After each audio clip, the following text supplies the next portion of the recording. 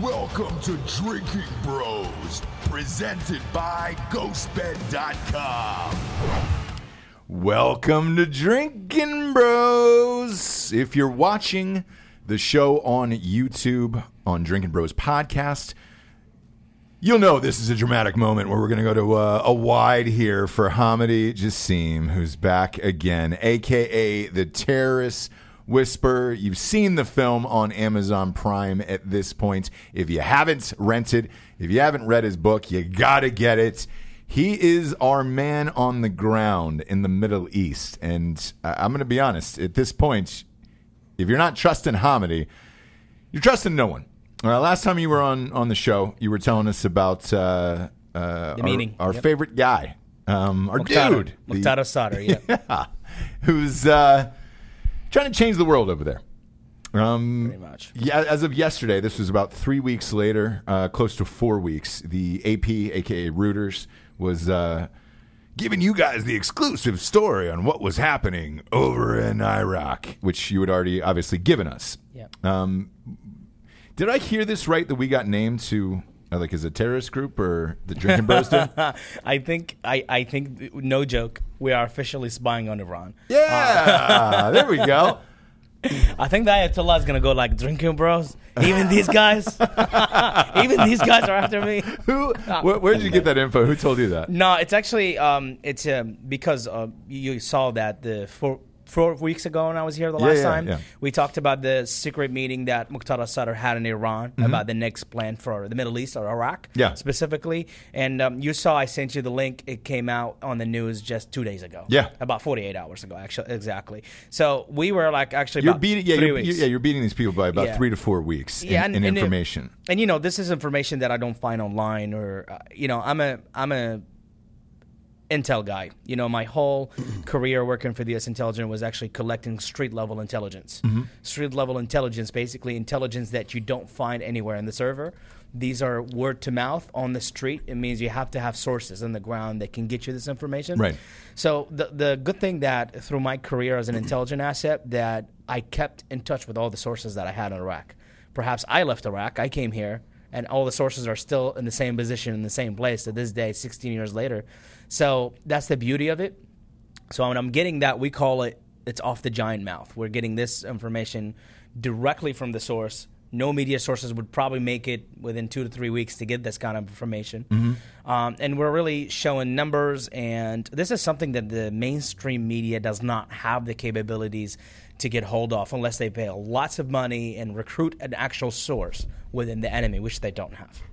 Yeah, and the, and the crazy thing is, is I want to tell the audience this because every time you come, uh, we have a, a brand new like four thousand square foot studio here in, in Wilmington. You are usually hovered in the kitchen with pages and pages of notes pouring over them from your sources. H- hold those up to camera real Yep, quick here. there it because is, right there. If you're if you are watching the video show and you're subscribed to, to Drinking Bros podcast on YouTube, it is pages and pages of notes all in Arabic. It's in some kind of squiggly language. I don't Yeah. understand, man. Just that- we were talking before the show about how funny it would be if uh, Hamody just started developing a redneck accent. Yeah, I down in got it, North man. Carolina. Down yeah. in North, I'm down in North Carolina, man. Hell yeah. D- yeah, do your redneck accent. It's hilarious. Arabic. I don't know how to read Arabic. I don't want to read that mess. Hell no, man. They Hell write- no, They man. write- They go. They go in the wrong direction. I'd from- rather go get some barbecue than run after some dairy carriers. For for Halloween, we're gonna have to have you dress up in some cut off jean shorts, Yeah. a, a Bud Light tank top, And a You're gonna have uh, to paint me. For and a, that. Like ma- a- and a MAGA hat, like you a know? blonde, a blonde mullet wig. Yeah, yeah, the whole thing. Hell yeah, man! Hell yeah, brother. I don't. I don't fuck around with none of that. All right. Trick or treaters are coming up, and you're offering kids pork, you know, just ribs. Y'all want a rib? Bacon. These Hand moose up. don't want one, so uh, This is our Muslim test. You ain't no Muslim, Damn. is you? yeah, have a rib. Eat this rib, or I'll punch you in your fucking face. Don't feel bad, man. I ate lots of pork in Iraq when I was in, you know, in Iraq in 2005, 2007. Out of choice, or was that the No, only thing actually, I, uh, I, w- you know, when you go to the DFAC back Pork then, rib, bro. You know, Mm. you, you have all kind of buffets in the Yeah. in the U.S. military DFAC, and DFAC is short for they don't- dining You don't know. Okay. but so I was eating ribs for like three months, and finally, one of the Indian guys, you know, behind the Yeah. the buffet that works in the kitchen, and he goes, "I thought you were a Muslim, man," and I was like, "I am." And he goes, "So why you been digging into like the ribs for the last three months?" And I was like, "Well, are they pork?" And he's like, "Yes, they are." I said, "Well, well they tasted great." I was like, "Dude, Can you imagine, like, all those? I mean, clearly, all those rules came from a time when Yeah, there were uh, swine, or so pigs have really similar bodies to ours, genetically speaking, which is why we test chemicals on them and blah blah Yeah. blah. Yeah. And you can grow like a human ear on them. So diseases that are common to human beings often get spread through pigs because Yeah. one, they're close to us, and two, they're nasty creatures. true. Sure. Right. So that's why at some point, eighty thousand years ago, someone was like, "Oh, God said don't eat pigs." Like Ah, gotcha, honestly, if you if you believe in God and you think that God is a is a like an ethical and moral being of some sort, do you really think He drew a line at the deli aisle? Like that's where that's the line in the sand. yeah, yeah, yeah. Yeah. Like you can't be a Jew or a Muslim if you're fucking eating pork. That's that's the one, huh? Yeah. yeah. And if you're a Catholic and you eat beef on Fridays, that's it. You're just done. Yeah, it's just just like in our culture, you know, we have people be like, "Hey, can you eat pork?" No. yeah. Yeah. What Why? do you, what do you drink? Alcohol. And we're like, what's the difference? If God said no to alcohol, no Yeah. to pork, but you're still not eating pork, but you're drinking a bunch of alcohol. So Yeah, yeah. What's the do? You're fucking it up anyway. So, you know, it's like- and, and it's still to our culture. You know, people would not eat pork, but they will drink gin and all kind of messed up stuff. Yeah. That's Well, how it is. I man. drank quite a bit of something last night. I don't remember what it was. We we went hard. Last night was uh, my birthday. Oh, And yeah. uh, we, we went out last night and went real hard. Various types of pork and uh, crazy Uh, amounts I, of liquor. I had a pork belly. Yeah. yeah. Cool. Um, and, and last night was Fat Tuesday. So Okay. that's a that's a big thing here Big from Mardi thing, yeah. Gras, and Yeah. we were unaware, and it was just like every bar we walked into it was. Yeah. beads, and people were raging, doing shots and all that shit. And we were like, oh fuck it, all right. Let's now do you're it. going to see those people walking around like zombies with charcoal crosses on their fucking heads. Yeah, yeah. Everybody who got hammered last night is going to have a an Yeah. Ash Wednesday cross on, Ash their, Wednesday. on their head today. So we are recording this on uh, on February 26th. This will be airing uh, uh, obviously Sunday night at eight o'clock. Yeah. Um, clearly, when you're here at this point, shit is not good over there. So it's always shit is not Well, good. this is- They're done. Some of this is good news. So um, everybody knows about Soleimani and uh, his his little fucking friend that got murked on the uh, Al Muhandis, yep. Yeah.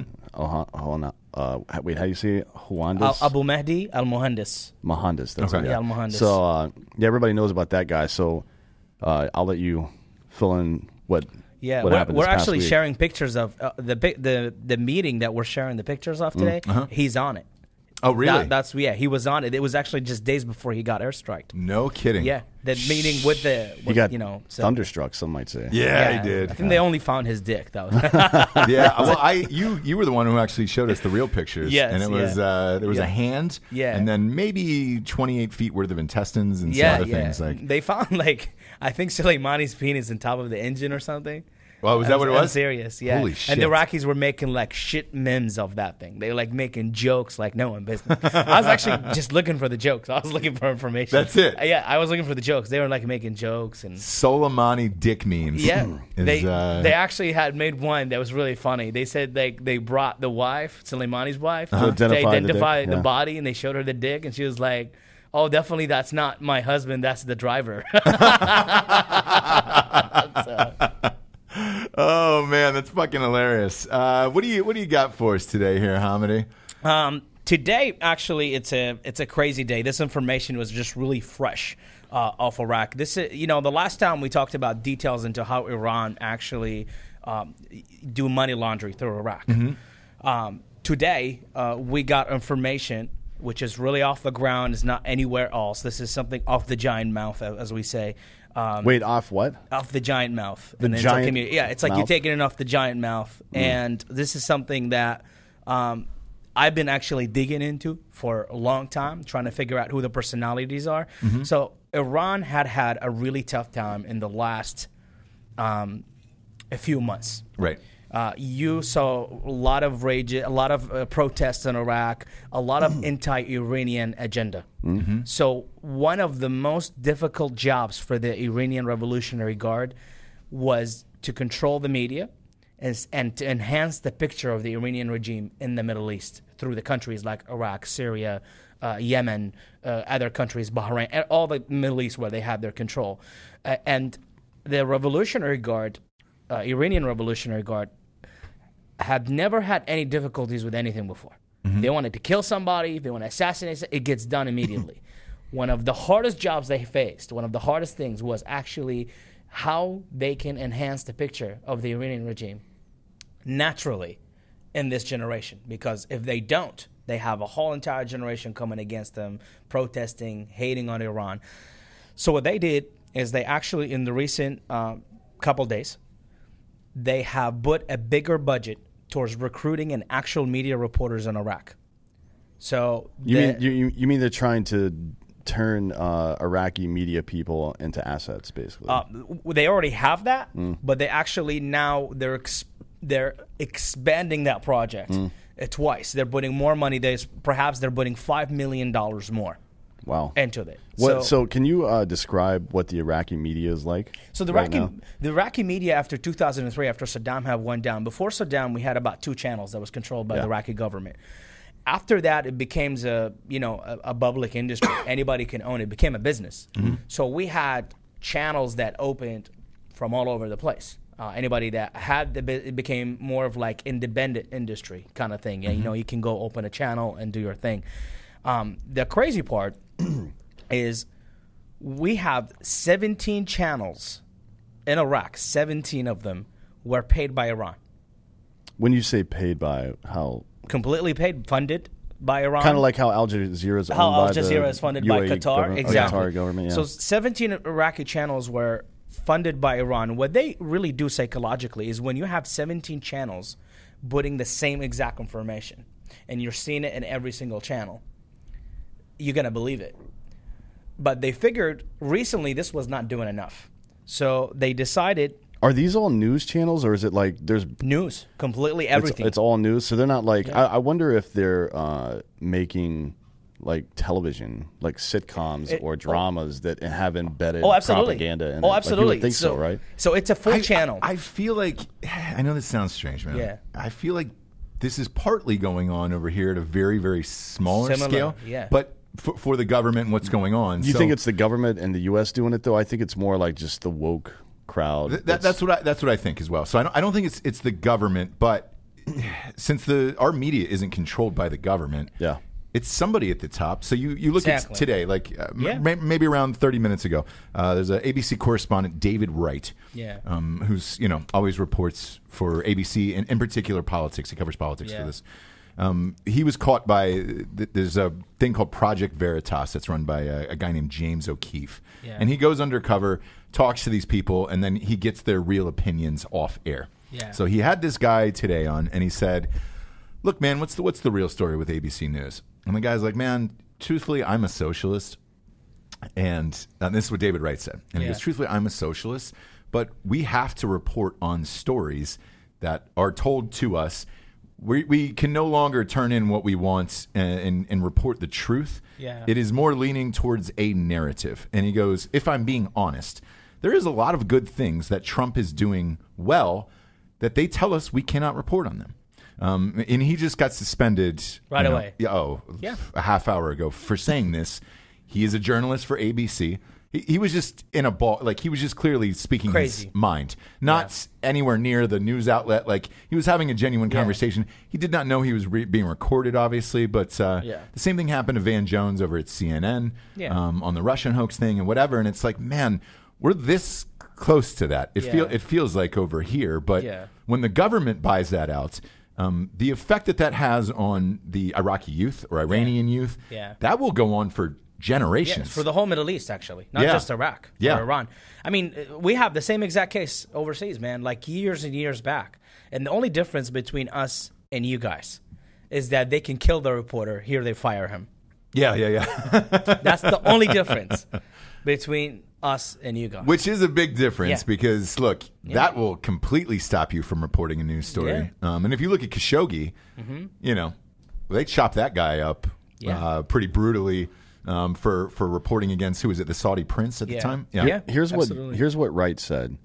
He says, uh, "I feel terrible terrible about it," and by it he means uh, the bosses at ABC telling him what he can and can't report. Mm-hmm. Essentially, uh, so he says, "I feel terrible about it. I feel that the truth suffers. That voters are poorly informed." and people have the opportunity to tune in to whatever they want to hear. So it's like there's no upside. Our bosses don't see an upside in doing the job we're supposed to do, which is to speak truth to power and hold people accountable. Yes. I, I mean, That's sad. what can the? I, I wonder aside from just. Uh, A suspension? no, I'm. I I wonder aside from people just not listening to ABC and CNN and Fox anymore, what can be done about that at this point?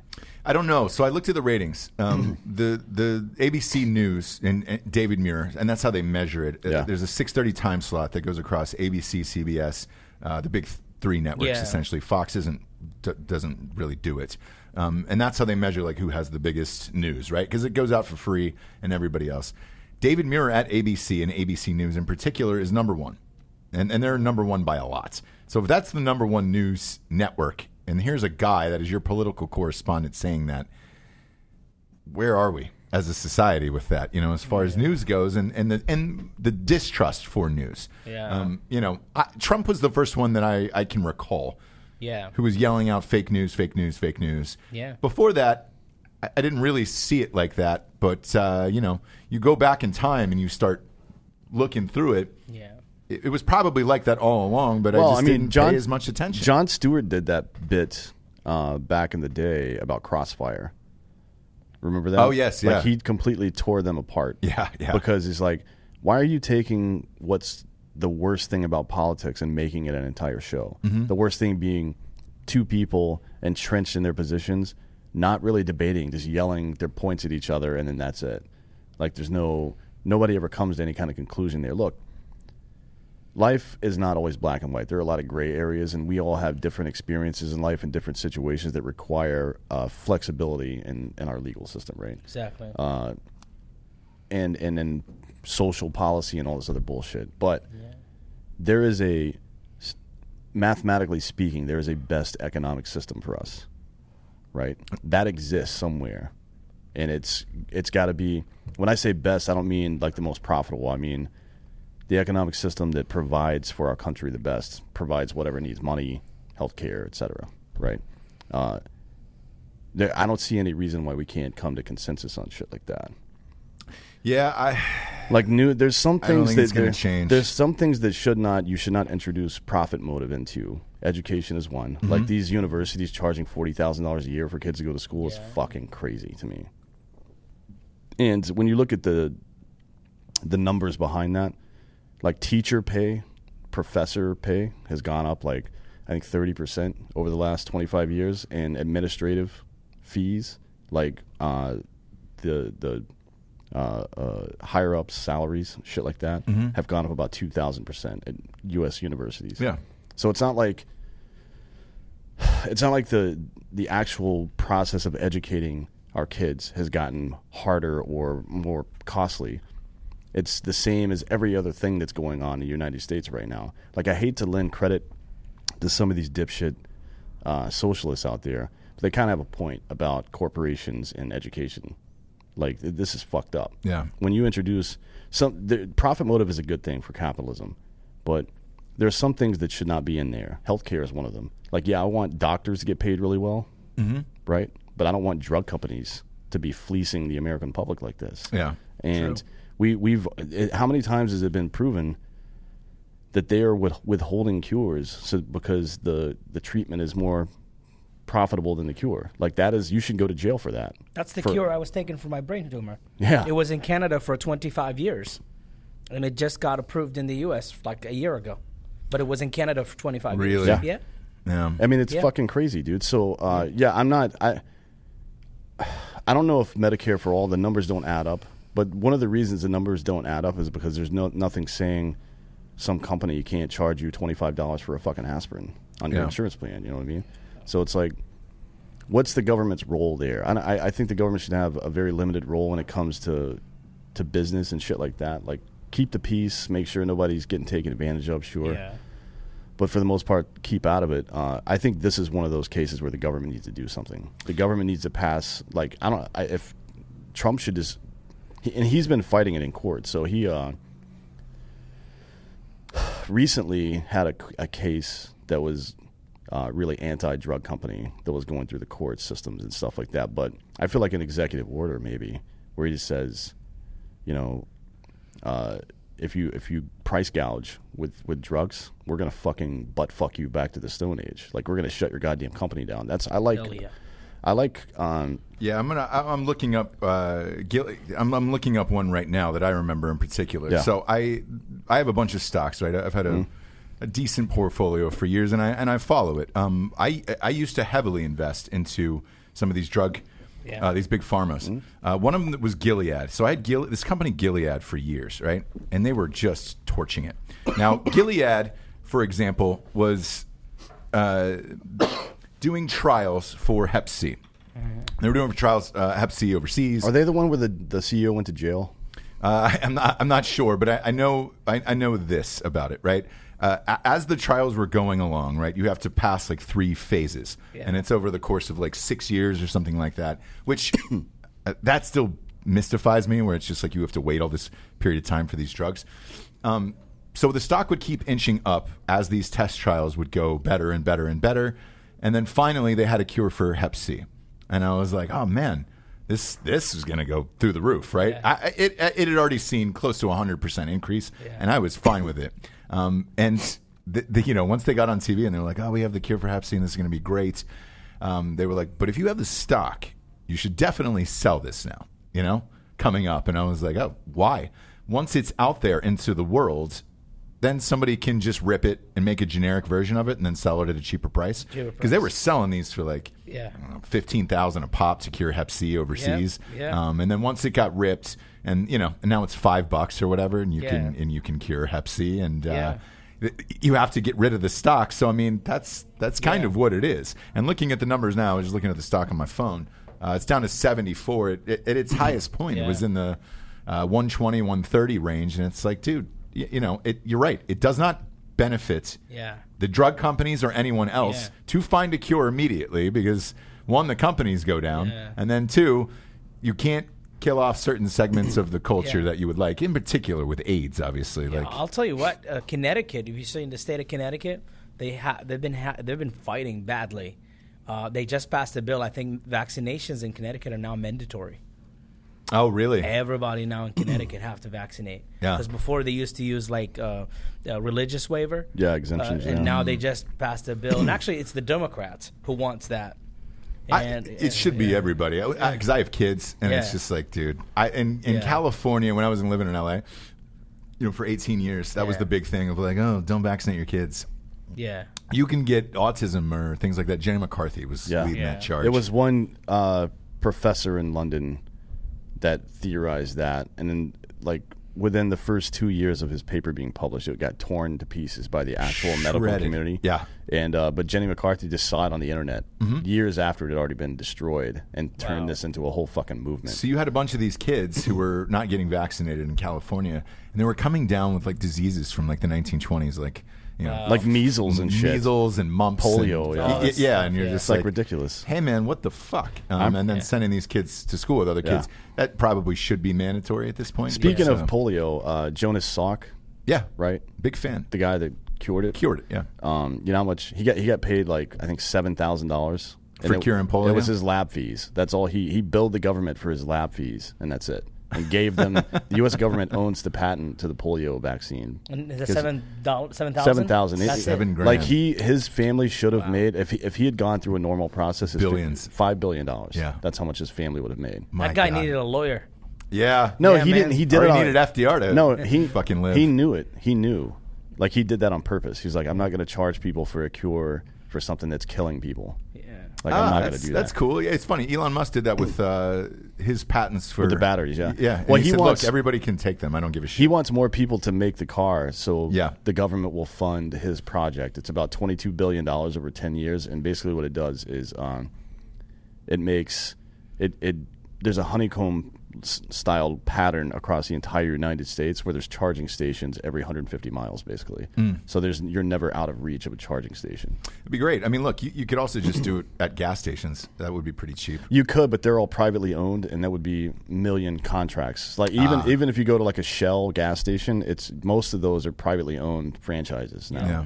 So they just pay a fee, a licensing fee. You would have to go through each. Like it, fuck that. Yeah, I remember uh, Josh has a Tesla, and we, we drove to Raleigh, and uh, we we just stop at a mall, Yeah. and just plug it in Yeah. for like, and then go have lunch for like an hour and a half, Yeah. and then you know that was it. That was gonna be our way home. I mean, it's weird. Yeah, it's really weird. Um, before hey, before we get to your info though, I want to since you're here, I, I want to ask you um, some questions about our U.S. politics that are going on. Yeah, absolutely. in particular with with the media, uh, like we were talking about earlier. So the the report came out this week about Bernie Sanders that Russia was trying to help him win the Democratic nomination uh, to go up against Trump uh, for president because they think Trump can easily beat Bernie Sanders. Bernie Sanders um, has known for a month and finally decided to come public with this information. And then today they dropped uh, an interview with his wife that she did on Russian TV um, about four years ago, uh, talking about why she would have, her husband would have been the better candidate and all this other stuff. Over in the Middle East, are they rooting for Trump? Are they rooting for someone else to get in office? Like, would they be rooting for Bernie Sanders? Do you know that as far as people on the ground? No, actually, the majority of people in the Middle East, based on the protest Mm-hmm. and everything that you, it's been proven, uh, majority of people in the Middle East actually voting uh, voting for Trump. The anti-Americans Yeah. are not voting for Trump, but they're actually would love to see Trump go away. Yeah, the anti-Americans. Absolutely. Yeah, yeah, yeah. That, Yeah. that makes sense. I So, mean, yeah. Because like a Bernie Sanders in there who wants open borders and all that other shit. Like, great, we can bring death I'll to America I'll a tell lot you faster. This, I'll tell you this, and it's on my own responsibility. Mm-hmm. Um, terrorists do love this kind of politics in the U.S. They love the fact that if some if a U.S. president is causing them a lot of trouble, putting a lot of pressure on them, there is a hope that four years later this person can go away, and Mm. it can change the whole entire game. Or perhaps the whole entire politics in the Middle East changes as our presidents change here in the U.S. So, do they watch it as closely as we do over here? Much more than we do. Yeah, they're You're just, kidding. They're, Yes. ju- they're just sitting over there laughing. Much more than we do. So, like, like last night's debate was it? It was a I- fucking shit show. I can tell you right now. They the were Ayat- watching it. People were watching The it. Ayatollah probably now have his uh, little subha, the thing that he calls in his hand. Mm-hmm. He's probably going to watch that election and hope and pray that Trump goes away. and I'm telling you that guarantee. This is my own responsibility. Sure. Yeah, but does even the Iranian people wants to see Trump go away? Does the Iranian government wants to see? Does the Iranian government? I'm sorry, wants to see Trump go away? Yes or no? Yeah, yeah. It's it's Hell yes. yeah. Yeah, it's a hard it's, yeah. It's they want him to go away. I, I wonder though. Uh, I mean, it's it's probably not that big a deal because you've you said it before on the show, but in America we think in terms of years, months, and years, and over there they think in terms of decades and, and centuries. At some point, when it comes to foreign policy, They're long. I, like I, that. I'll, I'll give it to them. The Middle East's long game is strong, dude. I mean, their long game right now is just to get into the U.S. and fuck and have babies. You know what I mean? And that, Yeah. that that's that's that's one of the things they want to do, obviously, which makes sense. But um, it's another it's a, one of the another one of those reasons why I think that uh, that not term limits, but uh, what do you call it? Or I guess term limits in this case. Like Yeah. I think term limits are stupid. For like, in what other situation would you fire your CEO after four or eight years, regardless of their performance? What Right. other what what other company? What what nonprofit or company? What would who would do that? Yeah. How does that make sense? No. Like I get the idea of, um, we didn't like kings. We want to prevent tyranny. But even the founders, like George uh, Washington, had an eight-year run because he decided to, and every president after him had four or eight years because they decided to until FDR. Yeah. Like it wasn't like, and FDR was by all accounts a good president. Like you can't you can criticize him for some stuff that was maybe myopic and, and shit like that, but he get we still have an election every four years. Yeah. just keep having the election and let the guy. Why would you fucking set a limit on that? Yeah. It doesn't make any fucking sense to me. No, I don't know. And and you know, shit. I guess age, but even then, it's not really a factor. Everybody's running from the Democratic side is virtually seventy nine years old. Yeah, but you still have to win the goddamn election. Like know. you can't. I it- love. I, I have to say, you know, I love the the diversity right now that's among the Democratic Party. Because when you look at them, All the old white. all the rich, rich old white people. Yeah, that You know, they hate. Someone actually put that, and I like that. I was like, really? Like, Yep. That's that's it's actually true. it- you know, it's- like, Yeah. You like- have to think about it from from like yeah. your family's, your people's perspective back in the Yeah. Middle East. Yeah. They're watching all these old white people Yeah. that are rich as fuck, like talk shit about old rich white people. Yeah. Like how do That's the thing. I can't me. think of a, of a of a another example Because you that. have, you have two billionaires currently in it Tom Steyer and Yeah. Michael Bloomberg. Yeah. And, Yeah. and they're trying to go up against the billionaire that they hate, Yeah. who is already in office. And it's Yeah. like. Michael Bloomberg is already like pissing me off right now. Because every time I want to watch a YouTube video or something, Mm-hmm. his ads comes in my face. I hate to interrupt you. This Yeah. this podcast is sponsored by Michael Bloomberg. I'm kidding. He's I'm literally outta bought- here. He's bought He's gonna give us 2500 Inject. bucks. on everyone. It was uh, Michael McKeon, the comedian, was just like, uh, Yeah. "Hey man, uh, I was at my, my best friend's sonogram yesterday, Yeah. and uh, on the on the sonogram it Yeah. said sponsored by Michael Bloomberg. On Yeah. it. It's just like See, I- motherfuckers everywhere. I I'm glad you guys have brought this up. As a Middle Eastern born Muslim, I I have a lot of people in my community that argues with me. Like, how come you're like you know you're conservative and you're voting for the racist and Yeah. and they have this conversation with me and I I just turn around and I I say one thing and I said, what is your parties about? Diversity. Yeah, I said, show me the diversity. where yeah. do they let you be somebody? Like, yeah. where would they let you be somebody? I'm like Elizabeth Warren, Bernie Sanders. Well, she's Bloomberg. won. She's won 1,024th Cherokee. Yeah, so. she's she's a full she's a full Indian. She's got a drop. I mean, that's essentially like walking up to the ocean with an eyedropper. Like, yep, that's one. It it's like me claiming that I'm white. You know? Yeah, exactly. well, you are. A like, I'm you're white, a fucking dude, you know, giving a whale a tic tac. Um, at hey, this y'all. point, um, hell no. So before before we get into to all the all the good stuff you got here, yeah. we got some sponsors who pay for this whole shit wagon to be on the air. First and foremost, talking about ghostbed.com forward slash drinking bros. Everything is 25% off. Are we in a wide, Jamie? Uh, this camera went hot, so I'm fixing it. No, are we, are we in a wide? Yes or no? Yes. Okay.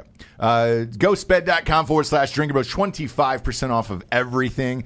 Got a little tech difficulties in here. Uh, got a bunch of ladies running around in the background. Um, I'm kidding. It's not them. It's not them, but you, you always blame the women in situations like this. Uh, I think it's the temperature of the room, so you could probably blame that on women. Yeah, We're always you probably trying to could. turn it down, and they're always trying, Trying to to turn, turn it it up. up. Or And we- there's, or there's an Iraqi in the room that, of course. Well, Yeah, you, exactly. You can't be trusted. Yeah, I know yeah. that. Look at all that squiggly writing over here. Hell no. Yeah, and we we uh, we keep it at 69 in this office, Yeah, well, as always. for obvious reasons. For obvious reasons. Uh, go to ghostbed.com. Look, 25% off is, is the most I have to say at this point. Um, that is fucking incredible. Uh, it's, it's still good with the pay as you go program. No interest, 36 months. Ghostbed.com is bringing you the motherfucking business, dude. Um, that's the best deal you can get, dude. And uh, look, again, it's no joke. You put in the 36 month uh, interest free shit, and uh, boom, you get 25% off of everything. It's like 20 bucks a month on all your favorite stuff. Next up, we got KillcliffCBD.com. Ooh, how I love thee. Bunch of people hit us up yesterday on uh, on Drinking Bros Sports, D'Anthony, and they were like, "Yo, man, what was that promo code again? It is Drinking Bros, kids. It is always Drinking Bros. Go to KillcliffCBD.com um, and, and type in the promo code Drinking Bros. 20 percent off everything and free shipping. Favorite flavors: uh, grape.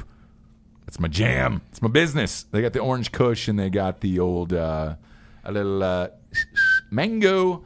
Everybody's leaning towards the mango these days.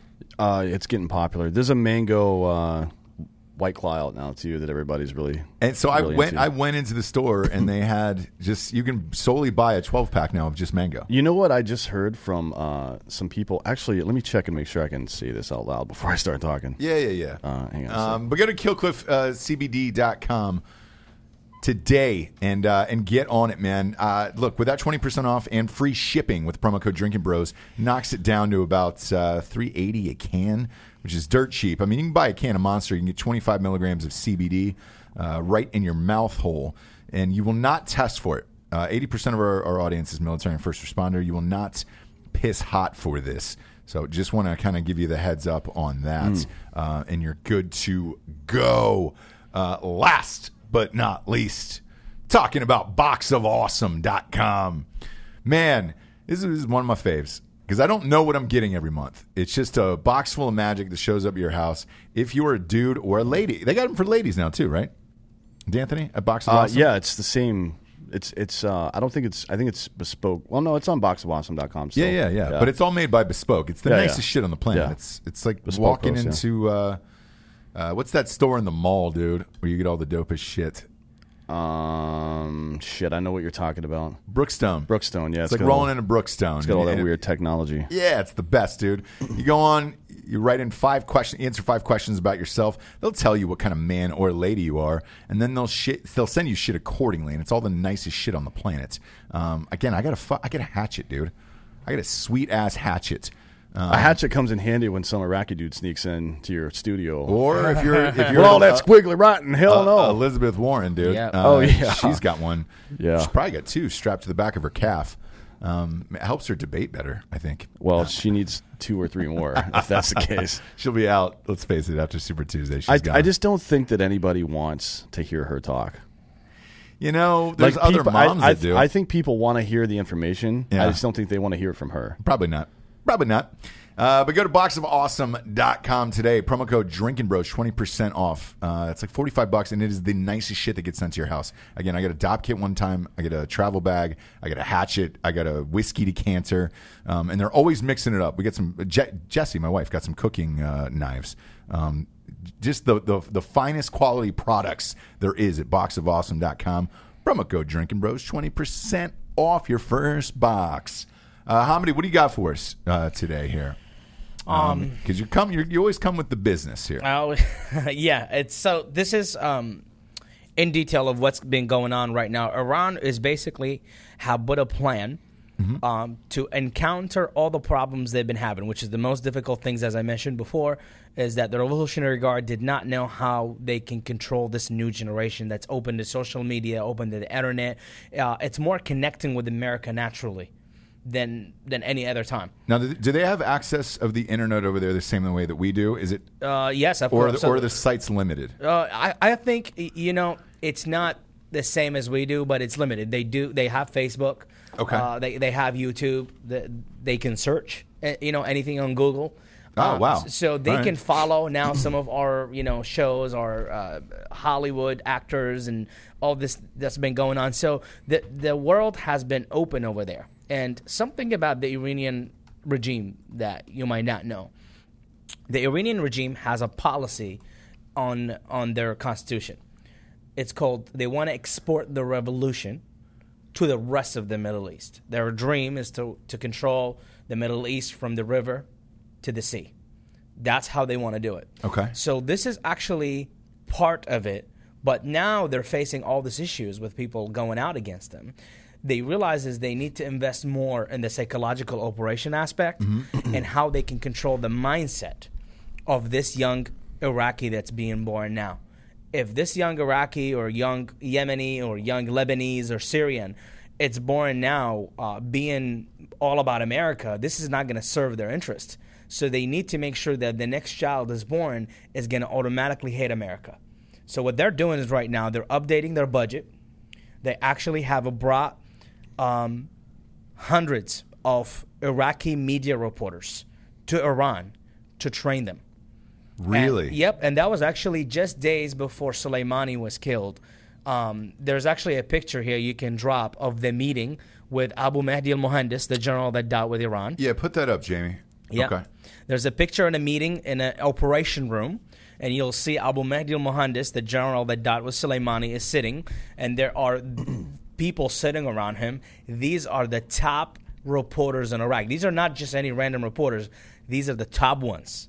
It's just like you come to America and you take the top. Like Dan reporters. Rather, Exactly. before Yep. Yeah, before he lost his mind. Yeah. before he lied Yeah. about like Megyn Bush. Kelly, Yep. And No. they Hannity. Hannity. Yes. So they Megyn took them Kelly. there, and what they're doing is they paying them salaries between six hundred dollars to about two thousand American dollars okay, per story. per person a month. Okay. Mm.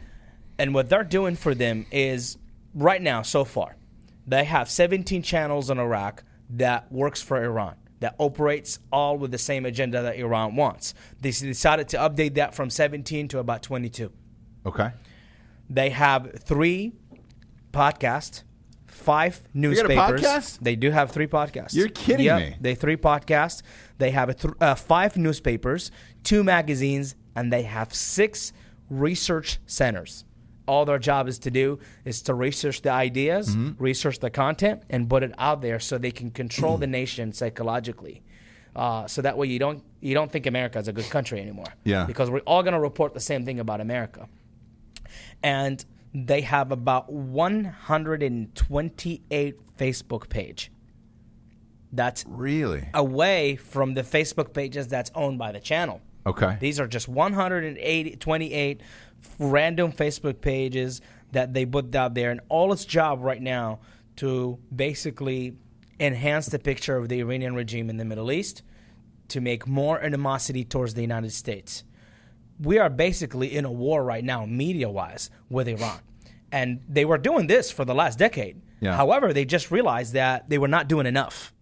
So now they're updating this. They're spending actually another five million dollars to update this to well, get it. I, I think with everything that happened in the 2016 election, right? Yeah. With with America and Russia, and they're saying, "Oh, Russia fucking rigged the elections." Which Yeah. Dan, you know the exact number. What did they spend on Facebook ads? About hundred thousand dollars. $100,000. I think it was one hundred thirty. And again, if you believe what you read on Facebook, Yeah. you're a fucking idiot who, who deserves Yeah. to be duped, anyways, right? Yeah. Uh, but with that, I think it opened the door and the possibility for all these other governments like Yeah. Iran and Iraq to Yeah. say, hey, man, we can control our own narrative Exactly. psychologically. We don't have to put people, we don't have to put soldiers out, outside of people's doors anymore.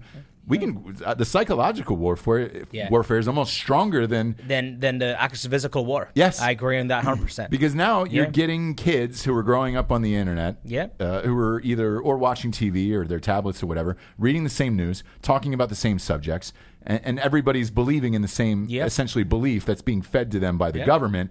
That to me is more dangerous than, hey, Yeah. you need to join the war or you know put a soldier outside somebody's house.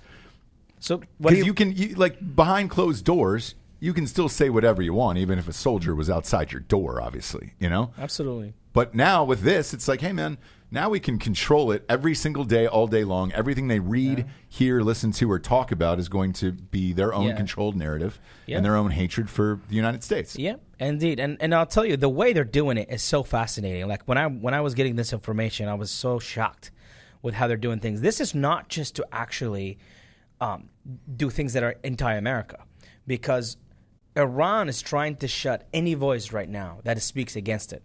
So this actually is to shut down Sunnis whom I speaks against Iran and Iraq because Iran is you know a Shia. It's to shut down Sunnis and and also to shut down Shia. They're also going to speak against Iran. So some of these reporters is job to brainwash, and some of them is job to face the other line, to face like a, a good media reporter. How can we face this person? How can we really make this person look stupid and make him look? So they figured so many different styles of doing that. So they, what Iran did right now, it basically established an army, media army, and the person that's actually assigned on this right now, his name is uh, Agha Shahini. He is the media advisor in the Iranian embassy in Baghdad.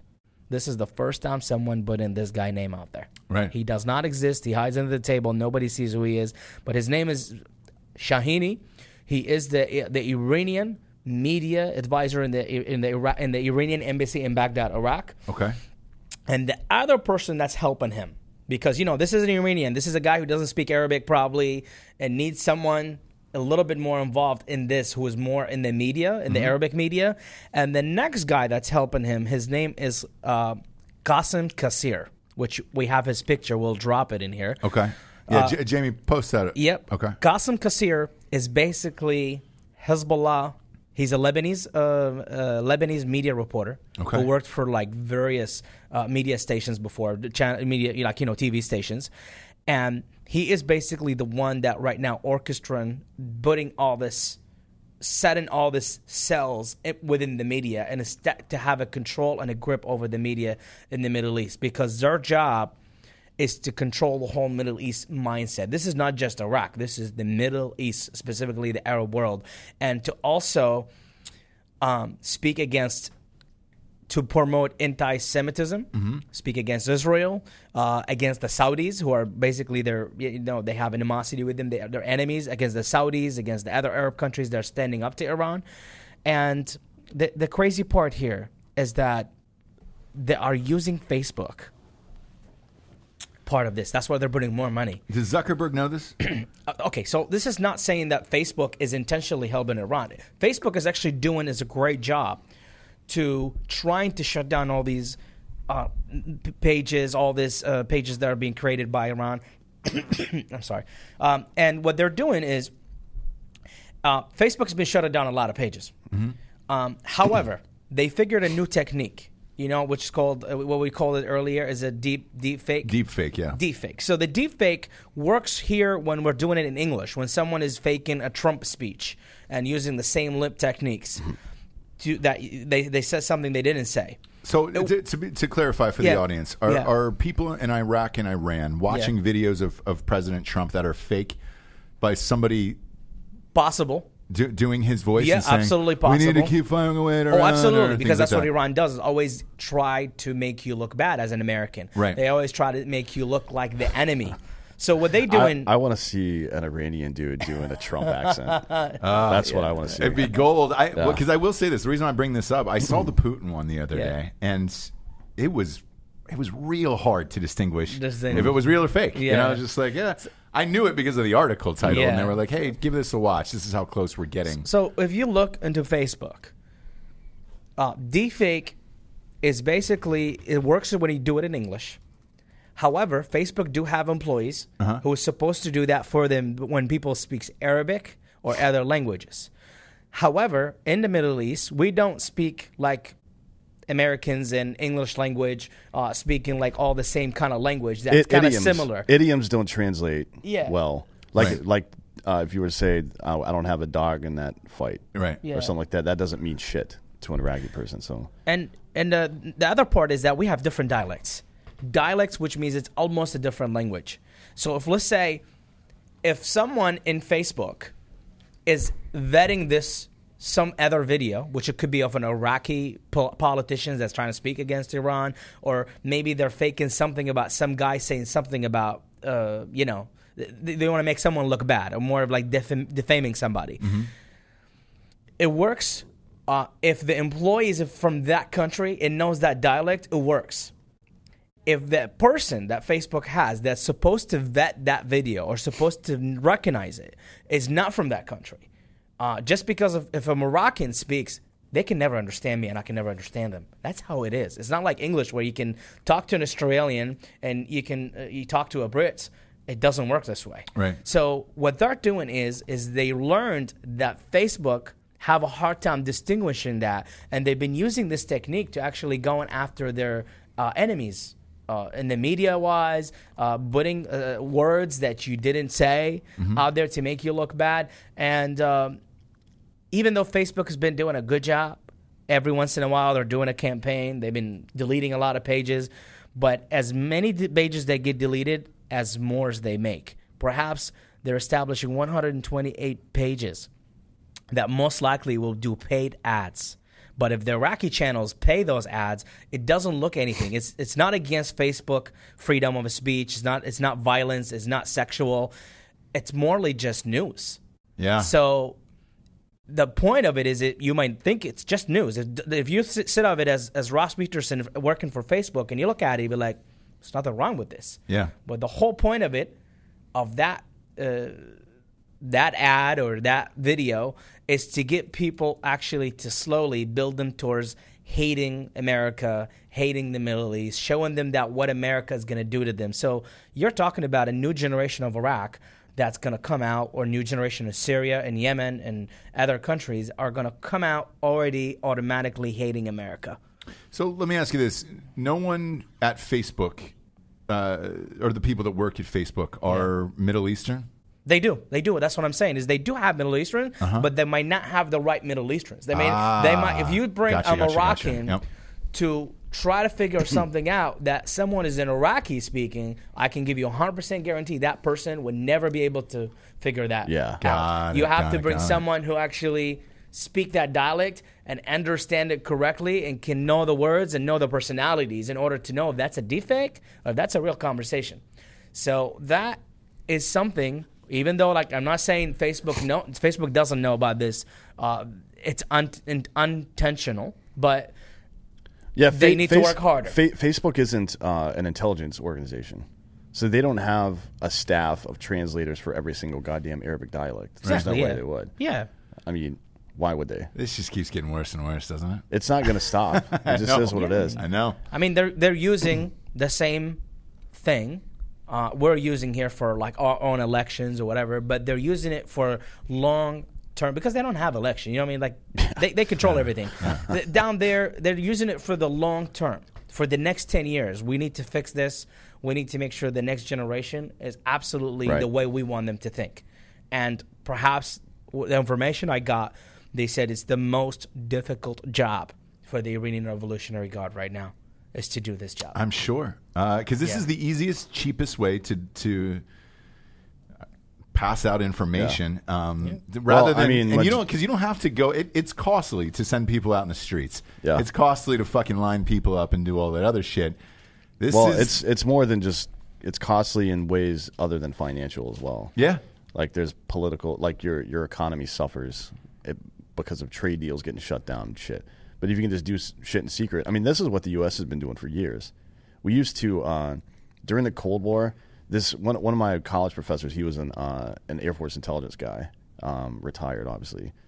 Uh, told me that during the Cold War they would fucking uh, they dropped these leaflets over uh, parts of uh, the former Soviet Union. They Like- used to do it in World War II as well, right? yeah, but they, these were, I mean, it was like crazy stuff. They would drop leaflets that talked about Americans having bigger dicks and they'd put like a Magnum condom on it and drop them out of the, fu- just like it was a test to see if they cared about that. Like if they, if they, if the women would start turning on their dudes and coming and like coming over to the U.S. side. Really? Of bigger dicks. Like there, that's just one example. He told me a million of them. Like this is all this weird shit that we did back then in the Cold War. Yeah. But, um, yeah, the U.S. has been doing this shit for years.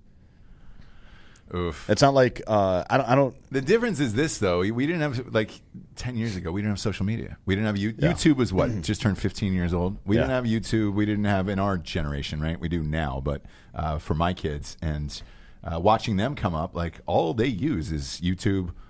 You know, TikTok, weird Yeah. shit like that. And it's like once you're able to control that, it's it's game over. Um, Well, I mean, look, because I- trying to stop it as a parent, is- I I think the next generation after our kids, there's going to be some kind of rebellion against technology. I think because that's how it works. Like the humanity is very cyclical when it comes to stuff like that. So You're, we go- You're right, by the way. I just had this conversation with Jesse. I Uh, I, I think it's there's a happen. group of kids right now who, what, what was it called in the Ross Patterson Revolution? Normcore is what it's called.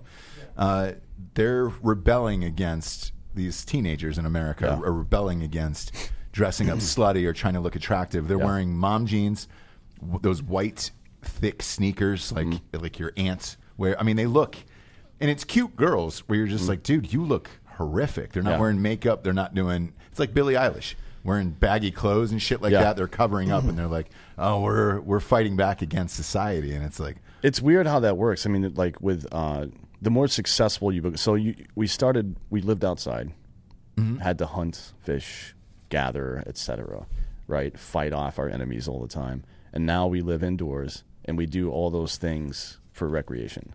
yeah, You know what I mean? So now we've uh, the things that we. I, I guess if you if you want to take it that direction, Fight Club. What does he say? And that and what Chuck Palahniuk write? Uh, the things we own end up owning us. Yeah. Something like that. Yeah. Social media is definitely becoming like that. Like it's becoming. Yeah. It, it's a virus. It's too powerful, and everybody has access to it. It's like just having a fucking. It's like an open air office, right? And there's a fucking red button, but there's no. There's not even a line. You can just walk up and press it anytime you want. Yeah. Yeah. Not that, not that there's not even security. There's not even a goddamn line. You can walk over there and do whatever the fuck you want. You can press that button all day. And uh, where, where I feel like it's iRobot, Isaac Asimov. Like Yeah. where, where what's the right question to be asking right here? Where is this all going? Like what what's the next threat that's gonna because I mean we we think about the normal shit like our energy infrastructure, power grid and all that stuff. Right. And banking and fucking jails that are I mean like all these institutions that are controlled by uh, computer systems, right? Mm-hmm. That are that have become a lot less secure because of social media and a lot more accessible because of it. And uh, what, but when you think about those kind of things, those are obvious. If you're a risk assessment person, but how do you imagine something that doesn't exist? You know what Yeah. I mean? I mean, That's I mean, imagine how ISIS uh, used Twitter as one of their main communication. They still are. know? They still are. yeah. Still are. And how you know the thing is they jump on the same platform that we're on, which is you know it's an opportunity for them. They're gonna take it. However, you know Al Qaeda have used social media, but I think the way Iran is using it, it's completely different because these other terrorist organizations are using it for communication, uh, for talking about their battles they, that they won or the ground they've been controlling. But when it comes to Iran, Iran is shooting for the next 10 years. Right. And that's the difference is that you're facing a country that is fighting against every American interest, period. And, you know, a lot of people here would say, you know, if we have left those countries alone, they would leave us alone. That's not true. That's Right. BS. Try it out. Leave them alone, see what they will do. I mean, we left Afghanistan alone for about 20 years Yeah. after we kick the Russians out of there. Exactly. And that's why I'm like, if you leave them alone, it doesn't mean they're going to stop hating you. It doesn't mean they're going to stop trying to run after your interest. Yeah. They're going to do the same thing anyway. So I'd rather be in front of them than be far away from them.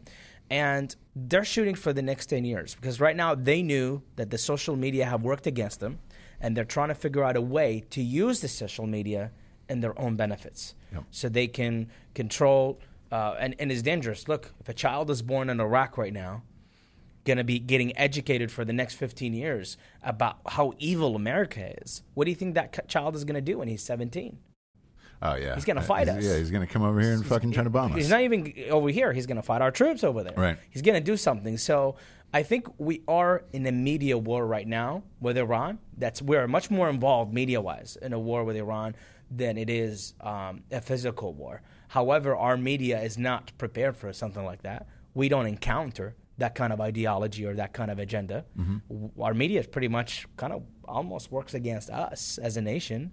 Uh, It, it is- feels like it today. Yeah. it is. I mean, it, it is working against us. It's not. You know what I mean? Because if you if you sympathize with the enemy, I, I don't. I think that's very un-American, in my opinion. Like, for me, That's how I feel as well. yeah, and it's it's very un-American. Yeah. Because for me, it's like, hey, if you if you think, um, if you think that you know we should have never done this or that, you're ignorant. That's what many people thinking. Like we shouldn't have touched Soleimani. Well, what about the 600 Americans that he killed? Yeah. Do we just walk away from that? Do we just say it? We'll, we'll forget it. You know, it's it's just more misinformed, and the media, of course, is not giving you the true message of what's going on, which is the reason why I don't go online, and here's my information. It's all in papers. And the, the interesting Yeah. part about the, the, the Soleimani thing, looking Yeah. back on it now, right? Yeah. For years and years and years, you know, Bush administration, and Obama administration, we could have took Yeah. him out. Everybody was afraid Yeah. of what would happen, that it would lead to a, a third world war. yep. I- How how did we drastically underestimate how powerful Iran was? Because let's face it, not only has nothing happened at this point, Yeah. they don't want anything to happen, and now we know how weak their military is. Mm-hmm. Why didn't we do this years ago? Was it out of fear of like everybody saying, "Oh no, they've got this amazing military," and No, because they were winning psychologically. that's it, right? That's all of it. They were winning psychologically because if you remember when they uh, detained the Navy sailors, remember that when Oh, they yeah, yeah, detained yeah, them and they took yeah. them to you know Iran, they did that to the Brits. Why were they doing that back then? Why are they not doing it now? Uh, yeah, because now that they got popped, it seems like But even before they got popped, Yeah. they knew the reactions would be different. Yeah. It's that when they did something, they knew the reaction of that government, whether if it was a Republican or Democrat. They knew and they analyzed and they behaved based on that. Perhaps, in my opinion, that if you don't use the right psychology with Iran, they will be all over you. Yeah, because Iran's is not they're not stupid. The, the government of Iran, I, I'm, I'm saying it clear, they're not stupid people. Yeah. They're extremely smart. people want uh, our president, whomever it is, to be respectful and nice and shit like that, and that is not how it goes over there. That like, if if I'm in Iraq and I'm interrogating somebody, I'm going to slap the shit out of them in the face with my open hand. I'm just going to slap them because that's how they they respond to that. They respond to handguns, not rifles. They're not afraid of rifles. But if you pull out a handgun, not that I'm saying you should interrogate somebody with a handgun. I'm just saying, like, there's certain why is that? By the way, because uh, that was Saddam's choice of execution method Okay. for the most part. Line people up, shoot them in the back of the head. With a that's handgun. that's that's what I've heard, anyways. But uh, people want the president like one of the things that a lot of people said when Obama got elected is like he immediately brought dignity back to the fucking White House. Like, okay, great, man, that's great. But the president's job, part of it is to be to represent the country, I suppose, in a in a good way. But as the commander in chief, his job is to win wars or prevent wars from happening. And one way to do Yeah. that is to straight up tell Iran, we're going to fuck you up if you keep fucking around. Yeah. Like, there's nothing wrong with saying that. That's part of the Yeah. psychological battle between our countries. So I remember this uh, bit Dennis Miller did back in the day, and it was when kind of when he was going through his process of changing from a super liberal to being more conservative. And this is when Bush had was going, I think, in, in the reelection phase in 2003, 2004. Um, excuse me. He was like, everybody always huffs and guffaws about nuclear. Well, like, under what circumstances should we ever use nuclear weapons? He's like, I don't know. If we run out of the normal ones, like, why? Why are we like? Why do we have all, all this shit? Not that we should be eager to use nukes, but if somebody's over there talking about attacking our country, and we have, like, we honestly, it's like, uh, it's like that Louis C.K. thing where the girl was on the phone Yeah, yeah, ma- and he was masturbating. It's yeah, like, it's why like, didn't you hang up why the didn't you fucking hang phone? up the fucking phone? Yeah. Like, we have the ability to hang up the phone on anybody we want forever. So why are we suffering these idiots? No, Yeah. just get fucked. Yeah. Like, Yeah. we don't have to necessarily nuke anybody, but we have other weapons now. We have a rail gun that shoots like a 65 foot piece of metal that is about like a two t- t- kiloton yield. It's like a small nuke. Like a normal yield is like 10 kiloton to 25, something like that. But um, we could just drop one of those on an uninhabited area in Iran. Just like, and, and people would see the goddamn mushroom cloud Yeah.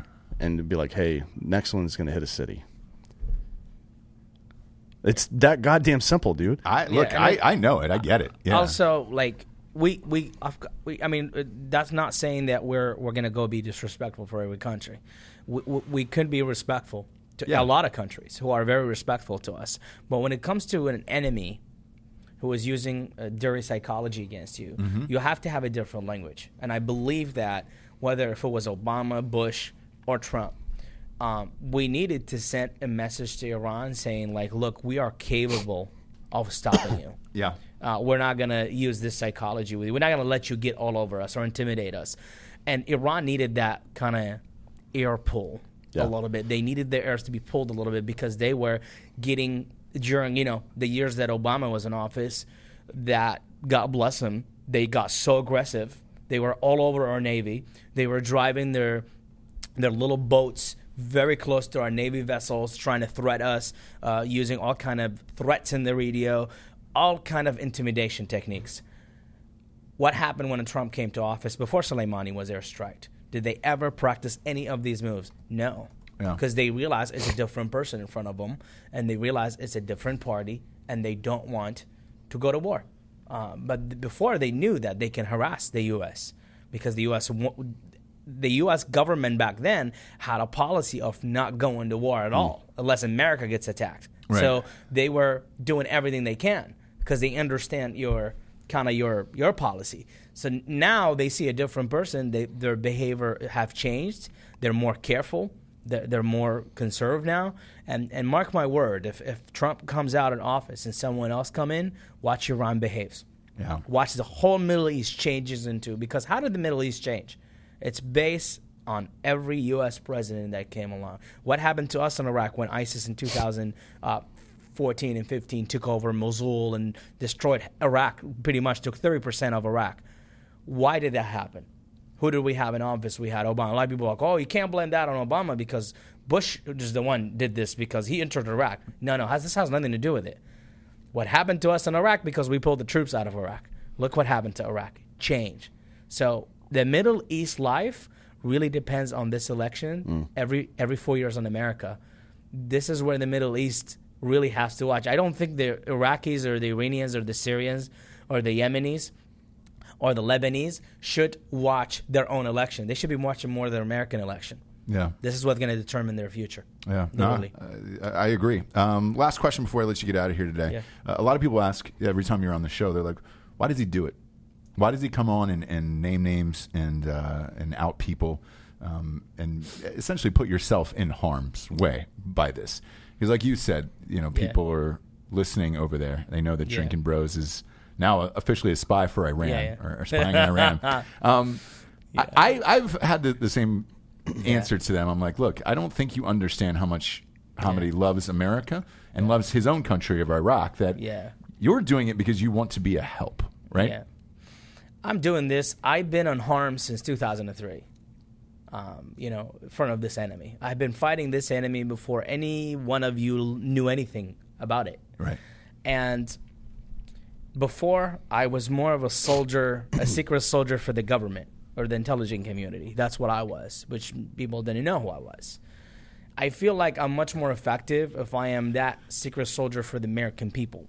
Because if the American people are educated about this, if they understand it, then there's no room for the mainstream media, there's no room for anybody to control their brain because what do they say all the time about people who are like you and Daniel? They're misinformed, they don't know. That's why they think the way they think because they don't know. And the truth is is that there's so many powers, which is media and everything, are trying to shift your thinking. So for me, I think I found much more pride, even though the information I provided back in the day saved American lives. That's different.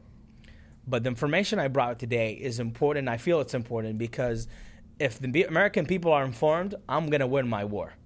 If the American people are not informed in this situation, then I'm losing this battle. So I feel that I feel that like I am much more. I feel more, I find more pride of actually informing the American people and and opening that wall that's in front of their face to the Middle East to what the really truth is, because there's no way of getting the truth. Yeah. And and you know, um, you, you you noticed that the information I provided in the last podcast was actually something just got released 48 hours ago, and that's that's what is it for me. You know, for me, I didn't care what the formation did, and perhaps I shared a, a document with Daniel a couple uh, a couple nights ago. Um, it's a declassified document, and uh, we were joking about it. I said. I said one day I'll, I'll tweet this to President Bush, You know, and, and uh, you know, it, to me, I really didn't care what the what I provided in the past, how impactful it was on the U.S. government. I, I think it's it's important that for me, this is my passion. I loved collecting info on that enemy, and the enemy, of course, hated it. You know, if you when you read my book or my film, they hated it. They Right. hated every bit of it because what I was doing is I was bringing you a picture that you couldn't see. I was providing you with a view that you couldn't see it, and um, I loved it. I enjoyed it. I felt that was like my orgasm in Yeah. Iraq is taking the Americans from being un- mis- uninformed, not know what's going on, to put them right in the real situation. And this time, I see myself taking the American people, not the government, not the intelligent community, and put them in that seat so they can see really what goes on, and they don't have to be misinformed because they shouldn't be. The American people are smart people, Yeah. and they shouldn't be blocked from that world. Man, uh, you're, you're a fascinating dude, and uh, we always enjoy having you on. This is the point in the show we get to the drinking bro of the week. I'm actually going to give this to you, D'Anthony. Um, you threw me a surprise party last night. I didn't have anything to do with it. Really? I mean, I He throws parties for nobody. He's like, I'm I was going to going do to try this. to be nice to him. No. Like, hey, man, this is fucking awesome last Ti- night. Tiffany Thanks. Tiffany DM'd me and was like, "Hey, who can I talk to about getting their friends from the neighborhood together?" So I just hooked her up with uh, Bayou Brook. Oh, great, great. So then I'm, I'm, I'm going to give this to Tiffany then. Yeah, Tiffany Uh, and the Drinking the Bro podcast.